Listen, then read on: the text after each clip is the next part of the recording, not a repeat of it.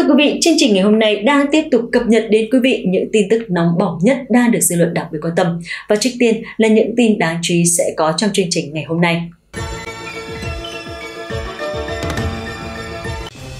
Kính thưa quý vị thân mến, siêu bão số 2 đã tiến vào vùng ven biển, sau đó mạnh lên và đổ bộ vào vùng bờ biển tỉnh Quảng Đông của Trung Quốc, khiến cho 12 tỉnh thành phố chịu ảnh hưởng nặng nề, gồm Quảng Đông, Quảng Tây, Giang Tô, An Huy, Sơn Đông, Phúc Kiến.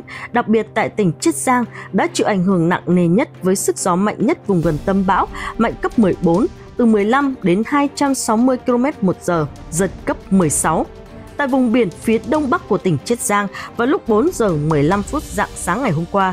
Vị trí tâm bão ở vào khoảng 17,5 độ vĩ Bắc, giật cấp 12, khoảng 260 km một giờ tính từ tâm bão. Cơn bão đi qua kèm theo mưa lớn dữ dội tiến vào đất liền gây sạt lở đất, khiến cho khoảng 7.800 ngôi nhà bị phá hủy.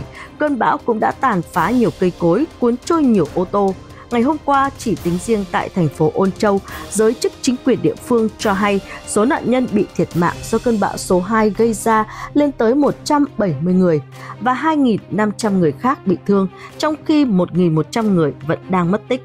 Trong khi đó, tại tỉnh Quảng Đông, Phúc Kiến, Giang Tô cũng vậy, đều bị ảnh hưởng nặng nề do lũ lụt và lở đất từ cơn bão gây ra.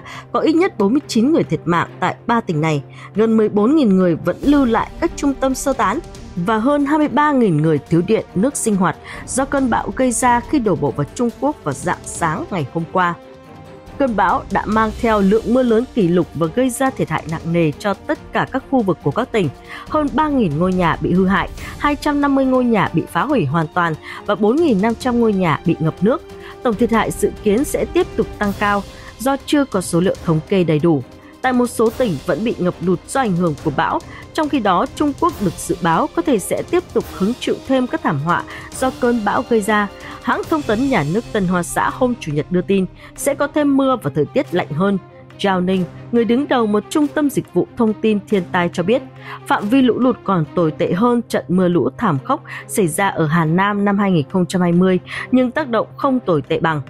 Bản báo cáo cho biết mối quan tâm hàng đầu là đối với những sân bay và thời tiết lạnh giá đi kèm. Ông nói, trận mưa xối xả tại tỉnh Sơn Tây là một trận mưa bất thường lớn thứ ba từ đầu năm đến nay xảy ra trên diện rộng ở miền Bắc của Trung Quốc. Trong năm nay, hơn 300 người ở Hà Nam đã thiệt mạng trong trận lũ kinh hoàng hồi đầu tháng các trận mưa lớn kỷ lục đổ bộ vào tỉnh này làm cho những hồ chứa xả lũ phá vỡ các bờ sông, hệ thống giao thông công cộng và đường sắt ở nhiều thành phố bị ngập do lũ. Phần lớn, các trường hợp tử vong xảy ra ở thủ phủ Vĩnh Châu, nơi lượng mưa hơn 600 mm, tương đương gần với lượng mưa trung bình một năm. Trung Quốc đã hứng chịu lũ lụt tồi tệ, vỡ đê nghiêm trọng, Lũ lụt tồi tệ ở miền Trung, miền Bắc và miền Đông Trung Quốc gây vỡ đê nghiêm trọng, ảnh hưởng hàng trăm nghìn người. Chính quyền các khu vực bị ảnh hưởng bởi lũ lụt ở miền Trung, miền Bắc và miền Đông Trung Quốc đang kêu gọi tăng cường các biện pháp ứng phó như gia cố đê bao và tuần tra 24 trên 24 giờ để bảo vệ tính mạng và tài sản của người dân trong những ngày mưa lớn. Hoàn Cầu Thời báo đưa tin tại tỉnh Sơn Tây, miền Bắc Trung Quốc và các đoạn hạ lưu của sông Phần đã trải qua đỉnh lũ lớn nhất trong gần 40 năm do mưa lớn liên tục vỡ đê đoạn sông Phần gần làng Triều Đông, huyện Tân Cương xảy ra vào khoảng 5 giờ chiều ngày hôm qua. Chiều dài đoạn đê vỡ lên đến 20 mét hơn 10 máy móc quy mô lớn và hơn 300 người nỗ lực vá đê bằng đá và gạch. Tuy nhiên, đến 9 giờ sáng ngày hôm nay, lỗ thủng vẫn chưa được vá hơn 1.800 cư dân gần đó đã được sơ tán an toàn. Và ngày hôm qua, tỉnh Sơn Tây đã ban hành biện pháp ứng phó khẩn cấp cấp độ 3 để kiểm soát lũ lụt sau khi có thương vong trong các vụ sập nhà và sạt lở đất do mưa lớn gây ra hơn 20.000 người dân ở Sơn Tây đã được di rời sau khi mưa lớn đổ bộ vào tỉnh trong những ngày nghỉ vừa qua. Mưa lớn ở Sơn Tây kéo dài trong 4 ngày qua và dự báo còn tiếp diễn trong những ngày tới với lượng mưa ở nhiều nơi trong tỉnh vượt trên 100mm, thậm chí 200mm mức cao lịch sử. Thưa quý vị thân mến, có một điều người ta thường nói, họa vô đơn chí, phúc bất trùng lai. Họa của Trung Quốc bây giờ gây ra không chỉ ở trong nước mà đã làm lan tràn ra toàn thế giới. Có rất nhiều người thậm chí đã nguyên rủa khi nhận ra bộ mặt thật của chính quyền Trung Quốc người ta luôn mong muốn rằng có một quả báo dành cho các nhà lãnh đạo của nước này, trong đó không thể không kể đến người đứng đầu Đảng Cộng sản Trung Quốc, ông Tập Cận Bình. Xét về khía cạnh tình nhân đạo của con người, chúng ta không mong những điều bất hạnh đến cho những người dân vô tội của Trung Quốc, nhưng những gì mà đất nước này đang phải gánh chịu và chắc chắn sẽ còn phải đối diện tiếp tục trong tương lai thì rất khó có thể để đảo chiều. Đập Tam Hiệp là một quả bom hẹn giờ mạnh hơn cả chục lần bom nguyên tử.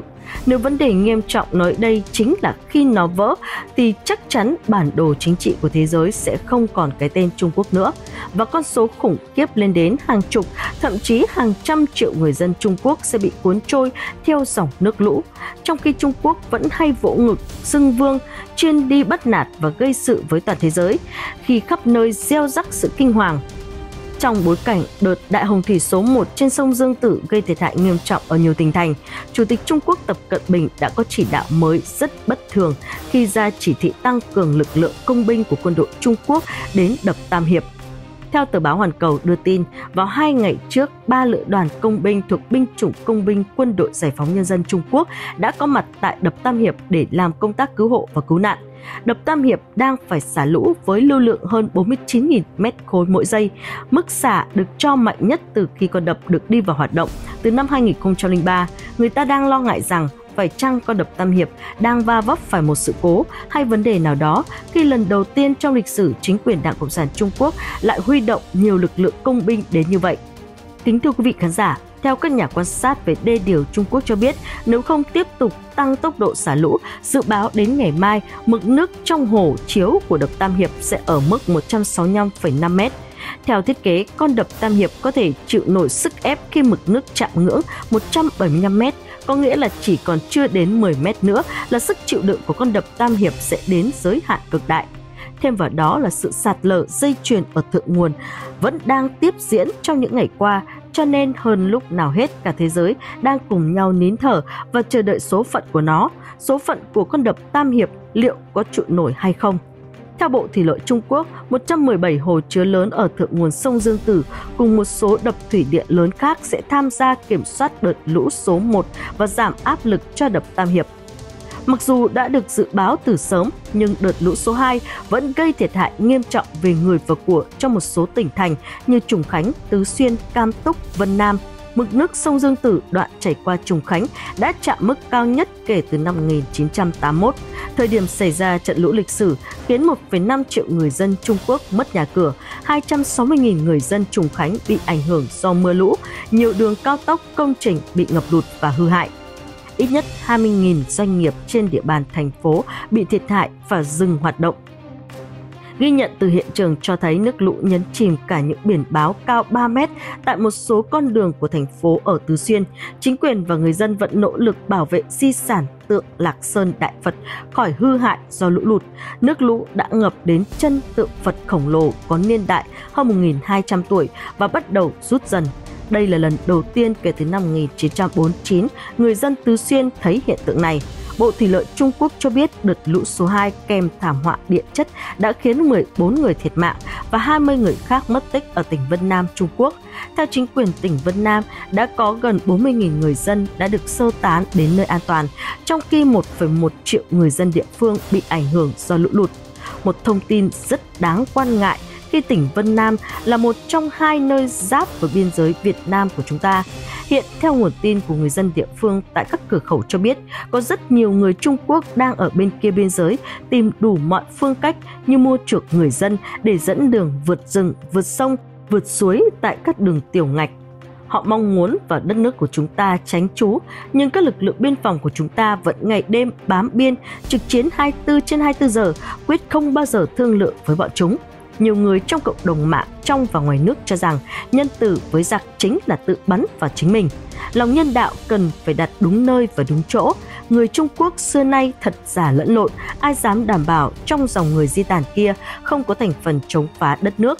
Thành phần nổi loạn và nguy hiểm hơn là cả những người mang mầm mống dịch bệnh COVID-19 khảo sát nhẹ được đặt ra. Nếu quý khán giả là người quyết định thì chúng ta có nên giúp đỡ phần nào cho những người Trung Quốc tội nghiệp đang ở bên kia biên giới không?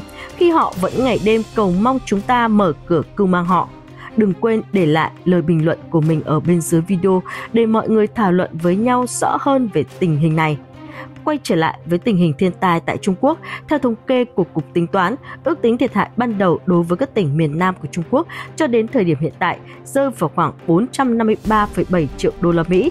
Chính quyền tỉnh Cam Túc cho hay tỉnh này vẫn đang nỗ lực khôi phục lại hệ thống liên lạc, điện, nước và giao thông trong khi tiếp tục cứu hộ những người dân bị mắc kẹt. Máy bay trực thăng hiện cũng được triển khai để cứu hộ những người còn đang mắc kẹt trong nhà không kịp sơ tán, ít nhất 5 người thiệt mạng và 2 người đang mất tích. Mưa lũ ảnh hưởng lên đến hơn 400.000 người và khoảng 72.000 người phải sơ tán. Chính quyền Cam Túc thông báo tại Trùng Khánh vào khoảng 8 giờ sáng ngày hôm kia, mực nước đo được tại trạm thống thang trên sông Dương Tử đạt 191,55 m, cao hơn 0,14 m so với mức kỷ lục và vẫn còn gia tăng. Trùng Khánh nằm trên khu vực hợp lưu sông Dương Tử và sông Gia Lăng, hệ thống sông ngòi trong thành phố dày đặc. Trong khi đó, địa hình Trùng Khánh chủ yếu là đồi núi, rất khó thoát nước. Quan chức thuộc Trung tâm Quản lý Tình trạng Khẩn cấp Trùng Khánh nhận xét. Trận lũ thứ hai đã khiến Trùng Khánh thiệt hại 354 triệu đô la Mỹ, hơn 260.000 người bị ảnh hưởng. Thưa quý vị khán giả, tại Tứ Xuyên, Trung Quốc, hôm qua hứng chịu hàng loạt cơn lốc xoáy khiến nhiều người bị thương và gây thiệt hại trên diện rộng. Đài BBC cho biết tính đến tối nay theo giờ địa phương, khoảng 5 triệu người ở Tứ Xuyên không có điện sử dụng. Những trường hợp bị thương được ghi nhận xung quanh các thành phố Đức Dương và Miên Dương, trong khi lực lượng cứu hộ tiếp tục công việc. Giám đốc Sở Cứu hỏa Đức Dương ông Lưu nói với đài BBC rất may mắn là chưa có báo cáo về trường hợp tử vong nào tính đến thời điểm hiện tại. Chúng tôi chưa đánh giá được mức độ thiệt hại nhưng mọi thứ sẽ rõ ràng vào sáng ngày mai. Cơ quan Thời tiết Quốc gia Trung Quốc thông báo họ sẽ tiến hành khảo sát thiệt hại ở một số địa điểm thuộc Đức Dương trong vài ngày tới. Cơ quan Thời tiết Quốc gia Trung Quốc cho biết vào lúc 23 giờ ngày hôm qua, một cơn lốc xoáy lớn và nguy hiểm xuất hiện gần thành phố Đức Dương. Cơ quan này sau đó cảnh báo người dân vì đây là tình huống có thể gây chết người. Sau khi những cơn lốc xoáy quét qua Đức Dương, nhà máy nước và trạm bơm địa phương phải ngừng hoạt động do mất điện. Chính quyền thành phố Đức Dương, bà Dung kêu gọi mọi người giữ an toàn trong bối cảnh cây đổ trên các con đường và xe cộ bị lật. Bà Dung xác nhận một số người đã bị thương do thời tiết khắc nghiệt. Theo Giám đốc Cơ quan Quản lý Khẩn cấp Đức Dương, ông Wang Ju cho biết ít nhất 7 người bị thương ở thành phố Đức Dương, bao gồm 3 người bị thương nặng. Vùng ngoại ô của thành phố Miên Dương đã ban hành tuyên bố khẩn cấp, các khu vực đang bị đóng cửa, xảy ra nhiều vụ dò dỉ khí ga. Xin hãy chú ý an toàn cho bạn và những người khác, chúng tôi vẫn đang tìm kiếm và cứu hộ các khu vực đồng bằng phía Nam và phía Tây của Trung Quốc hứng chịu nhiều cơn lốc xoáy trong những ngày gần đây.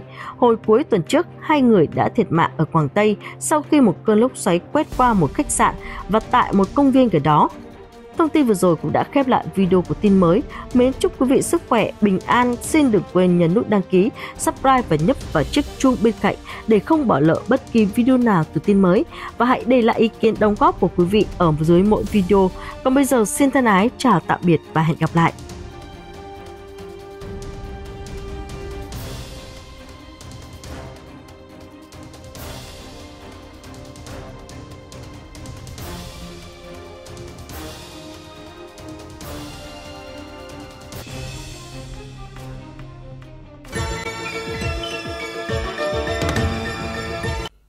Trên đây là những thông tin tổng hợp chi tiết, những nội dung nổi bật trong ngày của tin mới.